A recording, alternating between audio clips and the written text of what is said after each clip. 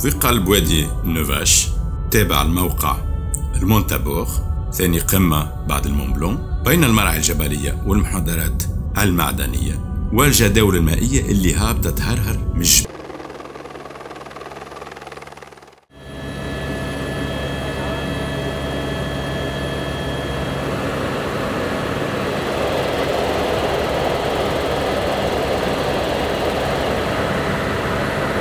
vous avez un circuit précis, c'est ça? Ouais, on est un peu limité ici. La réglementation.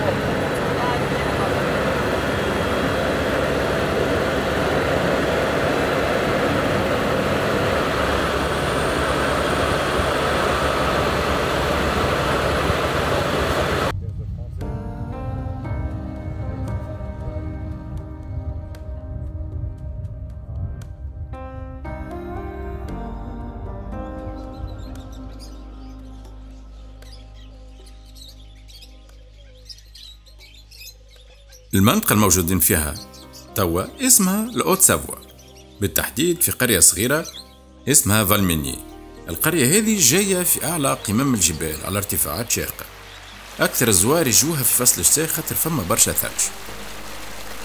وفي الصيف أقل عدد من السياح لكن الطقس مزيان. ترى فيه ذوبا الثلج.